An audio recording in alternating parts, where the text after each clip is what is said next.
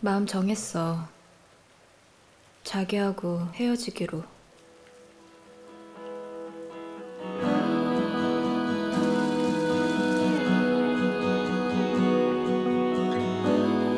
이제 이 방만 정리하면 되나? 자기 참 나이스해. 바람나 와이프 짐 싸는 거 도와주고. 왜 나한테 화내지 않는 거지? 그게 마음이 정해진 이상 그게 얼마나 이기적인 건지 모르지? 나예요.